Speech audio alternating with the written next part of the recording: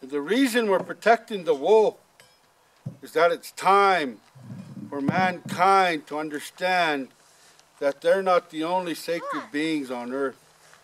We have to bring the wolf and the buffalo back.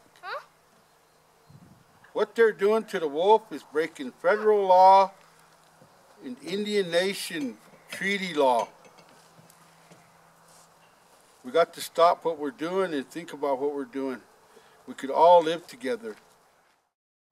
If these people that are killing the wolf are eating it, they need it to survive, well, let them kill it. If they're not eating it, they got to stop.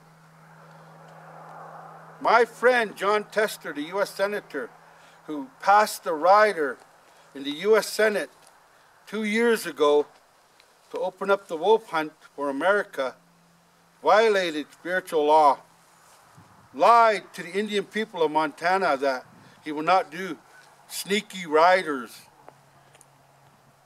into congressional bills to, to pass law. First thing he did was pass this sneaky law to open up the endangered law to kill the wolf here in Montana, Wyoming, and Idaho. This man doesn't care for the Indians. He just wants a vote. He doesn't care for the public. He just wants a vote. But I will continue to love him and pray for him so he could come someday and apologize to me for killing my sacred animal, my sacred brother, my protector, Magui. Jon Tester, my brother, the Magui, is waiting for you to come to your senses. Waiting for the public of America to come and do the right thing.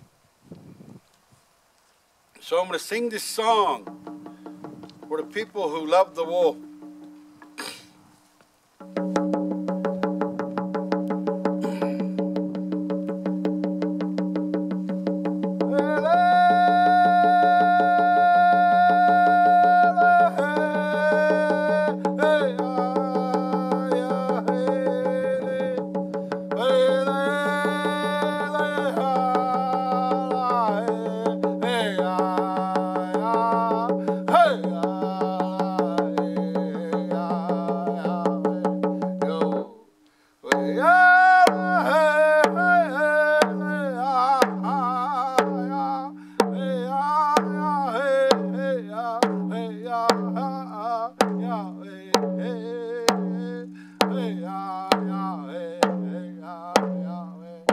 Leave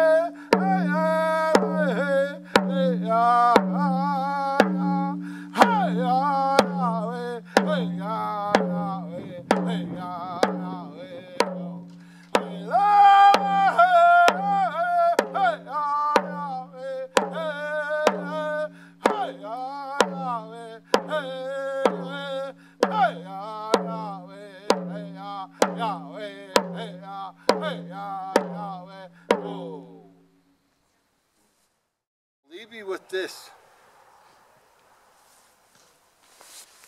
What you guys are doing is a thousand percent correct.